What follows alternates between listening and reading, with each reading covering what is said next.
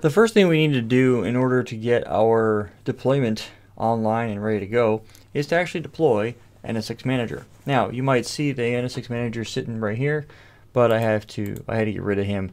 He was uh, being a little bit of a pain. So I'm going to go ahead and click on Create Register VM. I'm going to deploy an OVA. Click on Next.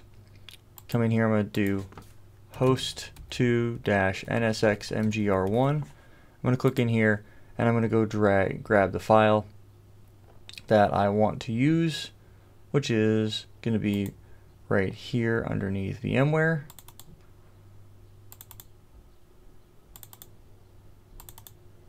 Right there, click on open, click on next. I'm going to choose the QNAP appliance, click next. I'm going to agree to the end user license. I'm going to click next. I'm going to power automatically and the dev place I'm going to connect to is VMware Lab trunk. Click next. Now this is where I need to go ahead and populate some information. So the C, the admin policy will be capital P at sign SSW0RD1234. Same thing with the privilege mode.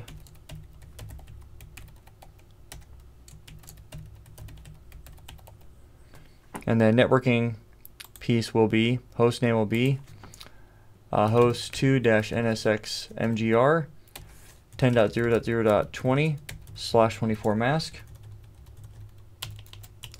10.0.0.1 is our gateway.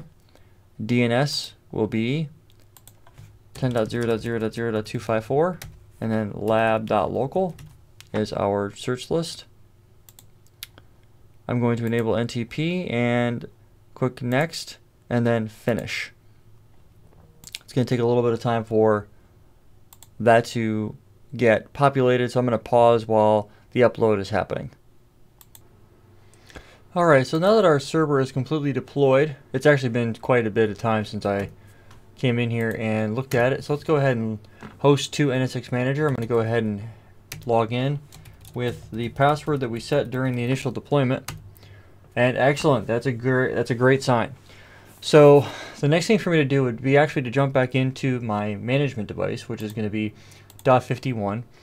And I'm going to go ahead and I'm going to ping it's going to be host, let's get DC1, NSX, MGR1, and you know what? This guy is, yeah, he's connected to it. So he should be able to reach out and ping it. Did I give it the right IP address?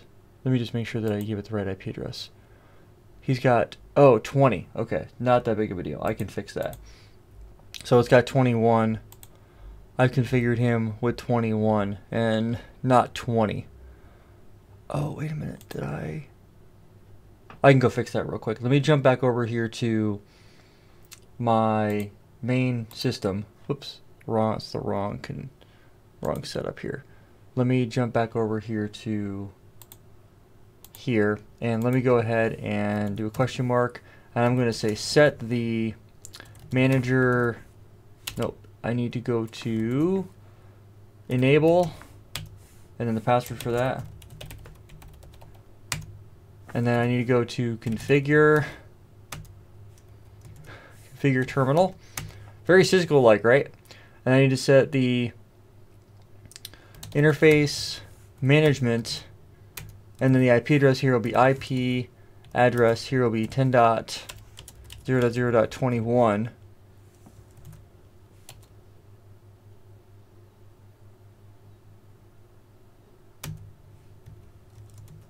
see.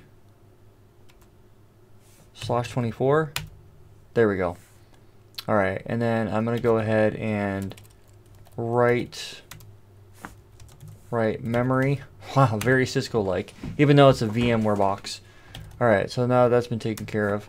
If I go back over here and close this out and refresh that, it's got both IP addresses. I'm actually going to have to get rid of that somehow.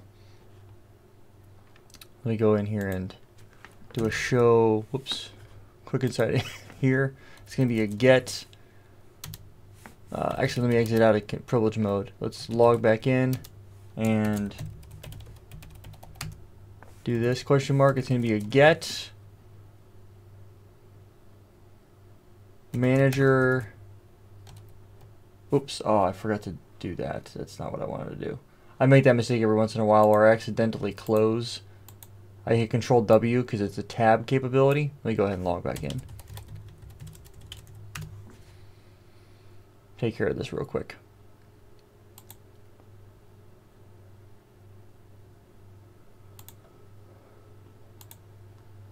Get manager. It's going to be a show IP just show interface management. Okay. Oh, it's got 21 as a secondary address. Okay. So I need to go to enable and type in the password for this. Go to global config and then interface mgmt and say is the no no uh, IP address of 10.0.0.20 slash 24 and we will do a go ahead and say no IP address of 10.0.0.21 slash 24 as well. And then we're going to set IP address here will be 10.0.0.21 slash 24. And we'll come back to here. We'll do a show interface management. There we go. Now it's set up the way that needs to be. I'm going to do a write mem. There we go. Let's go ahead and close this out. Refresh this again. There it goes. Let's go back over here to our device and we will minimize this. Hit this hit the up arrow. 100021 should be there. There it goes. Excellent.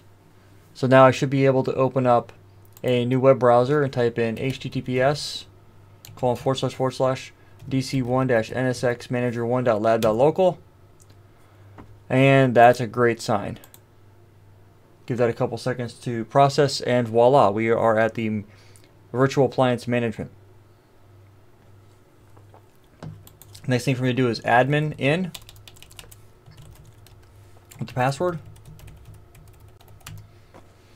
And then what we need to do is go to view summary. We really just need to watch, see how much utilization is going on. Is the server online? Is it done processing? Is all the management components running that need to be running? That type of stuff. And they are.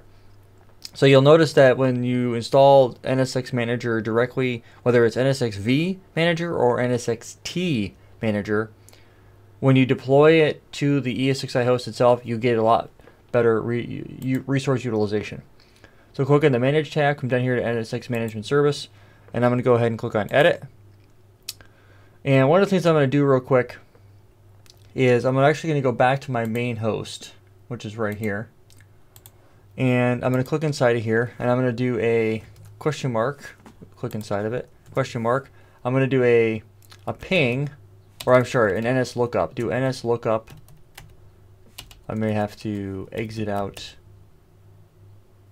here, log back in real quick. I'm going to do an NS lookup. Is that an option? Ping, I guess it's not. Ping, and I'm going to ping, it's going to be dc1-vcsa1.lab.local. And he can ping it, which means that if we were to do a control C on that and do a show question mark and let's see show configuration no, show. Anyway, uh, I just want to make sure that the actual. I want to make sure that NSX Manager had DNS configured on it so that it would know where to point. Because if, if you plug in an IP address right here, or I'm sorry, a host name, like if I plugged in this right here, would it know how to look that up? And that's one thing you have to make sure. Administrator vsphere.local, and then click on OK. It should be able to hit the SDK for the lookup service, and it can. So that should work out all right. And it'll take a couple of moments for it to do its thing, and then the lookup service will be working. All right, there we go. I'm going to click on Edit. and the vCenter server DC1 VCSA, and this one's going to be administrator at vsphere.local with the password. And there's a certificate for the vCenter lookup. Now, now that I've done this, the next thing that'll end up happening is I will have to go back over to vCenter, and I'll have to be I'll have to wait patiently for the integration to happen. If I click down here, in this area right here, we'll have networking and security pop up. If I go here, you'll see networking and security pop up here. Networking and security is going to be how we go about doing all of our whiz bang wow stuff. So what I'm going to go ahead and do is I'm actually going to go and down here to administration and where it has client plugins right now we don't see that one showing up. So what I'm going to do is I'm actually going to go ahead and I'm going to refresh. Sometimes it helps to refresh. And it just might take a couple of minutes. So I'm going to go ahead and I'm actually going to log out real quick and log back in to see if that has been enough time for it to do its thing. You may have to wait a few minutes in order for this to work. Let's go ahead and log back in real quick and see where we are at.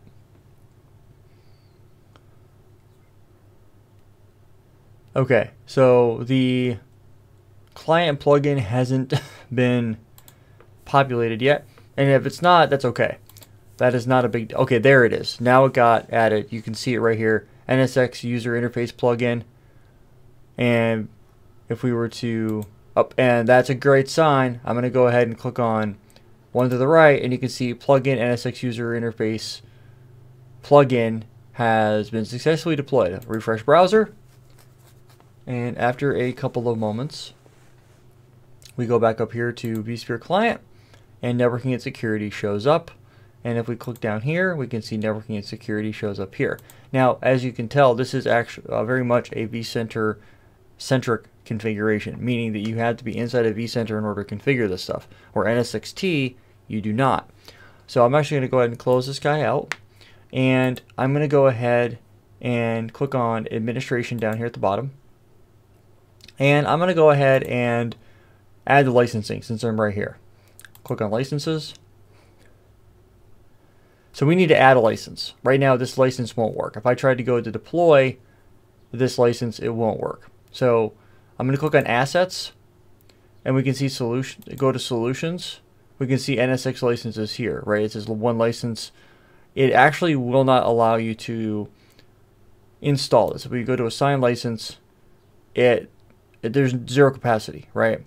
So it won't actually let you do any work. So what I'm going to do is I'm going to go ahead and grab a license. I'm going to grab the NSX license here. I'm going to go over here to licenses add a new license I'm going to copy and paste this license into vSphere right here. Click Next. This is going to be the NSX license. Name it appropriately. And we can do up to a thousand CPUs. Click Next and then Finish. Okay, now that he's been added, I get to go back over to Assets, Solutions, and Assign License. I get to associate NSX license. You can see that there's a thousand CPUs there.